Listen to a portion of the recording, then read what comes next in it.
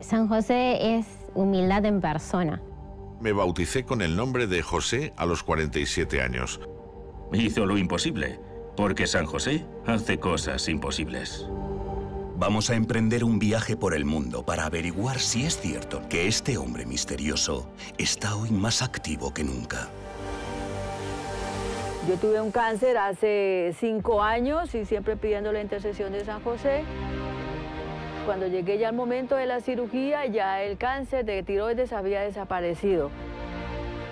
San José nos allanó el camino para que nosotras pudiéramos venir aquí. José fue el inspirador de esta basílica.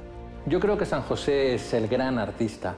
Hizo su gran obra, que es ser el padre de Jesucristo. Un padre que acude cuando más se le necesita. Hoy vivimos en un mundo lleno de lujuria. Por eso necesitamos imitar a San José como terror de los demonios.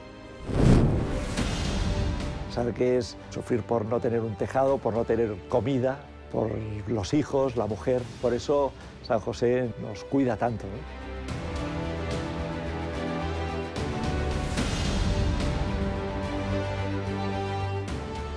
Inside the Nazi concentration camp at Dachau, during the darkest chapter of the 20th century, we see one of the most striking examples of St. Joseph's powerful intercession.